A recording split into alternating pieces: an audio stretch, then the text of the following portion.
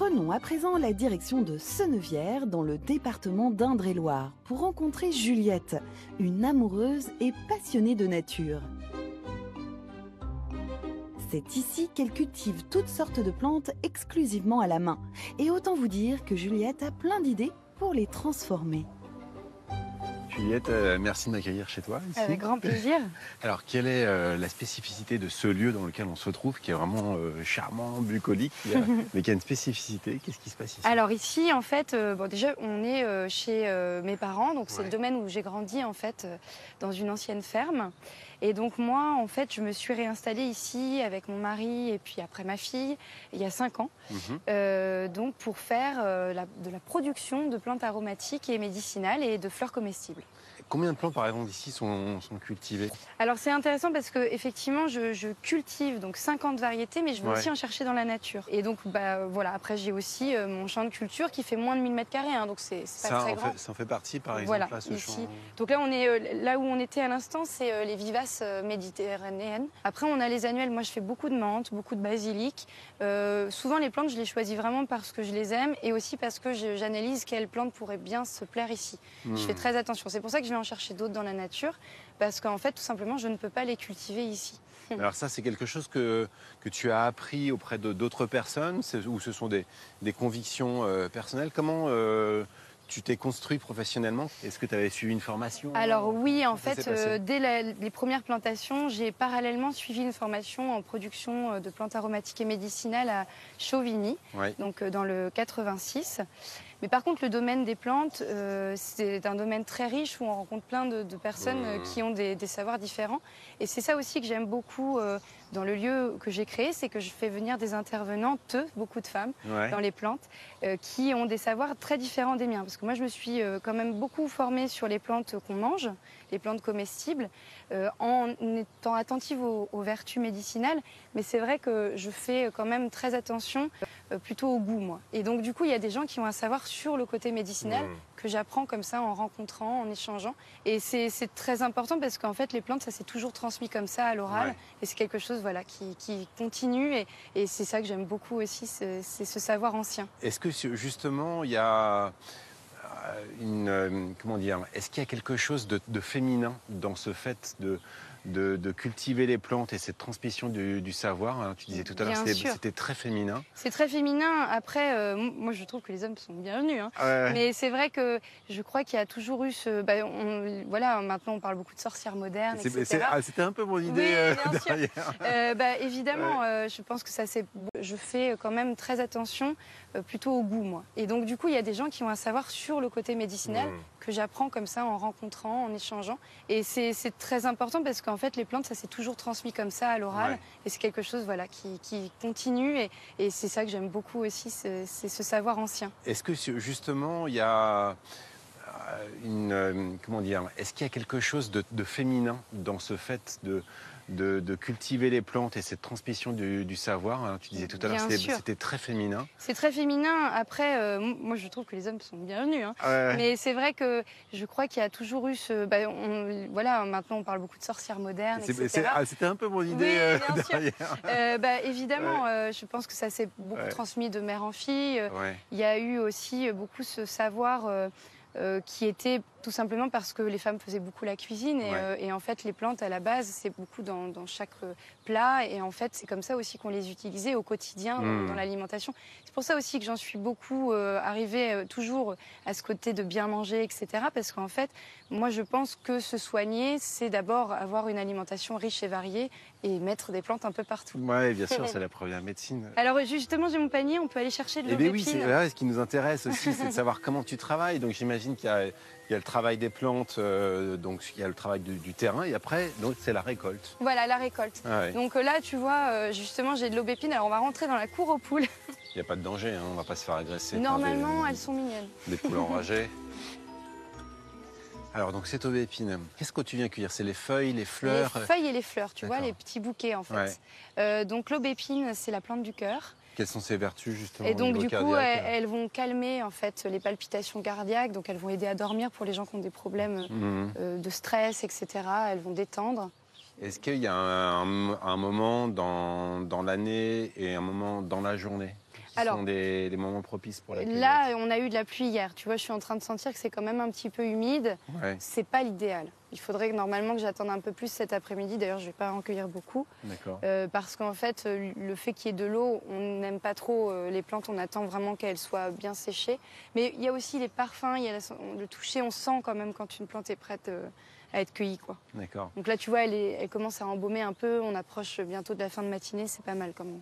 Et ensuite, donc le, le processus, c'est, ça va être le séchage. Directement au séchoir. D'accord. Donc là, je vais t'y emmener, tu vas Ok, voir. d'accord. Euh, je, je vais poser euh, les plantes dans le séchoir. On va en voir d'autres sèches d'ailleurs. Étape numéro 2. Donc, Voilà.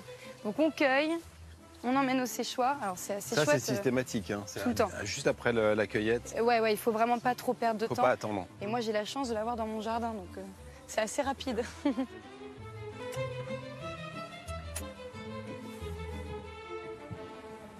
voilà, alors tu vois, là, mon aubépine, bon là, j'en ai pas cueilli beaucoup, comme je te disais, elle était un peu mouillée. Ouais. Mais par contre, là, c'est l'aubépine qu'on a ramassée ces derniers jours. Donc là, tu vois, moi, je, je fais comme ça. On entend le bruit. Donc Mmh. euh, là, c'est bien sec. Et donc euh, après, eh bien, on va euh, donc faire le mélange avec les autres plantes euh, que, que j'ai conçues. Alors en fait, ce degré de séchage, c'est, tu vas déterminer qu'il est bon uniquement euh, à l'audition et au, au toucher, c'est ça? Et C'est- ouais, ça, c'est très important. De, de- ça, ça se développe. Voilà, c'est des connaissances qu'on apprend. euh, Ouais. Et puis après, euh, on sent aussi. euh, Enfin voilà, c'est vraiment tous les sens jouent beaucoup hein, dans ce métier et, euh, et c'est vrai que Mm. bah, aussi, là c'est quand même beaucoup le toucher qui, me- qui me fait dire que c'est sec. Quoi. Hmm. Il y a quelque chose qui, euh, qui marque tout de suite, je trouve, quand on rentre euh, dans le séchoir, c'est l'odeur. Ah bah bien sûr. Ah. Euh, ce qui est drôle, c'est que quand je suis longtemps dans le séchoir, euh, je suis parfumée au séchoir. quoi. je sens toutes les plantes. Ouais. donc ouais, ouais, il y a une odeur intense ici. Donc là, comment ça se passe, par exemple? Alors là, bah, je, tout à je prends mon petit, mon petit paquet d'aubépines, je Ouais. vais le mettre directement euh, sur la clé de séchage. Et là, euh, bah, en fait, normalement, au bout de 3-4 jours, elle va être sèche. Ça va assez vite pour l'aubépine. Hmm. Mais ça, ça dépend des plantes. J'imagine que aussi ça dépend euh, bah, des conditions environnementales du jour de la cueillette. Comme tu disais tout à l'heure Ouais, que tu pouvais avoir sûr. des plantes qui étaient gorgées d'eau, ça peut peut-être rajouter un ou deux jours. Ça nécessite des capacités d'adaptation. En Ouais. fait. C'est-à-dire que tu vas pas chercher à contraindre la nature ou à contraindre justement les plantes. C'est toi qui vas t'adapter en fonction des conditions euh, environnementales. Des on s'adapte et euh, si jamais j'ai pas, par exemple, euh, une année de l'aubépine, tant pis, je ne vais pas l'utiliser cette année-là et je vais Mm. sauter sur d'autres plantes qui, elles, vont être en pleine forme et vont être bien présentes. Alors, on peut même aller plus loin. En général, euh, les plantes qui poussent sur telle année, c'est Mm. peut-être que c'est celles dont on aura le plus besoin, en fait, euh, Eh oui. par rapport euh, justement Ouais, à ce qui se sera passé dans notre environnement, le climat, etc. Ah oui. Mm. Il y a vraiment une recherche d'harmonie entre l'humain et la plante, et que si cette plante-là, cette année, à ce moment-là, est en plein euh, épanouissement, Oui. c'est que c'est la plante qui. Ouais, c'est ce c'est ça, c'est la plante qu'il nous faut et j'irai même encore plus loin. Ouais. c'est que autour de chez nous, ce qui pousse, c'est peut-être même celle dont on a vraiment besoin parce Ouais. qu'on est dans cet environnement-là. Donc, euh, les plantes poussent pas là par hasard non plus. Ouais. Elles sont aussi dans le même environnement que nous et elles s'épanouissent là où elles se plaisent. Donc, euh, Mm. voilà. Donc, il faut faire attention à tout ça. Et d'ailleurs, pour, euh, pour parler encore plus euh, de connaissances comme ça, holistiques et, et les plantes, leurs richesses, Mm. on va pouvoir aller voir Julie, qui elle fait de la distillation et fait très attention à, à ce genre de choses.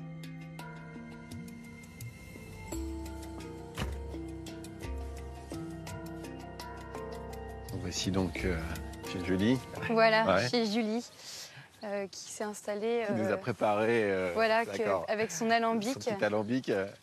Hello Julie. Bonjour. Alors, qu'est-ce que c'est que tout ça Alors voici mon, mon outil de travail Ouais. préféré. Euh, c'est donc un alambic en cuivre.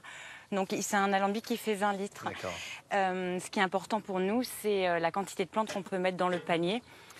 Alors effectivement, parce que donc là on était avec euh, Juliette tout à l'heure, Oui. donc on a vu la, la- la culture, la récolte, la préparation. Donc là on arrive avec euh, avec du laurier, Avec du laurier. du laurier Donc, noble. euh, donc comment ça va se passer? Donc là on a, as ton, ton alambic.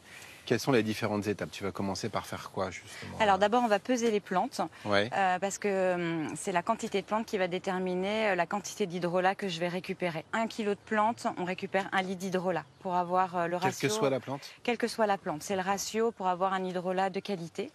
Donc, euh, du coup, on pèse dans un premier temps la plante. Et puis, euh, ça va déterminer la quantité d'eau que je vais mettre dans mon chaudron. Il faut que ce soit la plus l'eau la plus pure possible. L'eau, c'est, euh, il y a une mémoire de l'eau, elle transmet des informations. Euh, la plante va ajouter des informations à cette eau. Donc, c'est important d'avoir une eau euh, vraiment de qualité dans, dans ce, dans ce chaudron-là. Je coupe un peu. Vas-y. Donc en tout cas, il y a, il y a deux paramètres hyper importants dans la, la préparation. C'est à la fois donc la qualité de l'eau, Voilà. qui va vraiment être le support, on va dire, Mm. euh, et puis la qualité de la plante. Et la qualité de la plante, bien Ouais, évidemment. ouais. Donc voilà. Hop. Du coup, ici, là, j'ai mon eau euh, la plus pure possible. Hop. Voilà. Donc là, je mets le chapiteau. On ferme.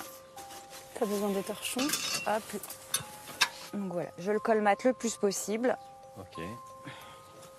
Hop. Alors.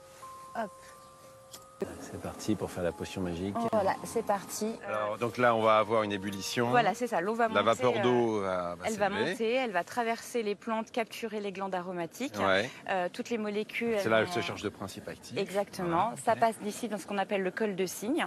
Donc euh, là, on est, c'est voilà, c'est de la vapeur en fait, et Ouais. elle tombe dans le refroidisseur. Euh, donc vous voyez, il y a un serpentin euh, Oui. qui est à l'intérieur, et là, Ouais. ça fait un choc thermique, et Elle en se fait, reliquifie. et ça se reliquifie. Voilà, c'est, c'est pas plus compliqué que ça. Alors cet hydre-là, euh, au final, à quoi ça ressemble donc, euh, Alors le, le produit final de la distillation? Donc euh, voilà ce que ça donnera euh, à la fin, si vous voulez sentir. Ouais, ouais, ouais. Ah oui. hmm. C'est aromatique, hein. Ouais, c'est très aromatique, effectivement. ouais. Hmm. Alors cet hydre-là, qu'est-ce qu'il va devenir Alors celui-ci, euh, le laurier, on s'en sert euh, pour les, euh, pour les problèmes de bouche, euh, les gens, les aftes, tout ce qui est gingivite. Donc on Ah peut oui. faire, euh, on peut faire En des bain de bains de bouche. En ouais. bain de bouche, Ouais. exactement. C'est une plante qui est antalgique aussi, donc euh, qui est très efficace sur tout ce qui est entorse, par exemple. En cosmétique, parce que moi c'est ça ce qui m'intéresse. Oui.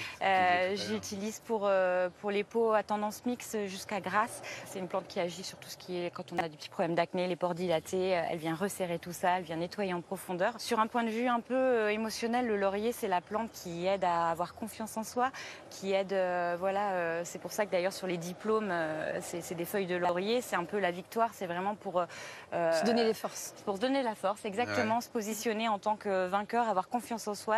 Elle aide, à- elle agit sur toute cette- sphère-là aussi. Ouais. Donc euh, voilà. En tout cas, ce qu'on a vu, c'est que du début jusqu'à la fin, il y a vraiment cette notion d'harmonie et de reconnexion hein, de l'humain avec la plante, ce que tu disais tout à l'heure dans le jardin. Pourquoi telle plante pousse à tel endroit et à tel moment. Et donc, il y a, il y a cette lecture très fine et ce, ra- ce rapport à la plante euh, qui, est, qui est très fin. Et on voit aussi qu'au niveau du résultat euh, final, il y a aussi cette recherche de- de d'aide, de, de- de connexion aux vertus de la plante. C'est vraiment passionnant. Et, en, et en- en- en discutant hein, tous les trois, on se rend compte que finalement, c'est sans Ah, fin. Quoi, parce que là, on parle que du laurier mais, Oui, c'est ça. et que, que de l'hydrolat. Mais euh, voilà, on a vu tout ce qu'on pouvait euh, en faire. Quoi. Exactement. En tout cas, un immense merci à vous deux, Juliette et Merci Julie, pour nous avoir fait découvrir euh, donc, euh, tous ces métiers qu'on retrouve. euh, c'est cette notion un peu de, de nouvelle sorcière dont tu parlais Oui, tout à l'heure. Et Tout à fait. voilà. Travail d'essence aussi, beaucoup. Et, Ouais. et c'est très riche. Et ben, je pense que le message est passé. et puis, on se dit à très bientôt. À bientôt, merci. Au revoir. Au À bientôt. Si vous souhaitez en savoir plus sur les plantes et être transporté au milieu des senteurs et des couleurs, n'hésitez plus. Juliette se fera une joie de vous recevoir et surtout de partager avec vous tout son savoir-faire. Curieuse, curieux, amoureux de la nature et du patrimoine, on se retrouve très vite. Et on a déjà des fourmis dans les jambes à l'idée de découvrir les merveilles de notre région.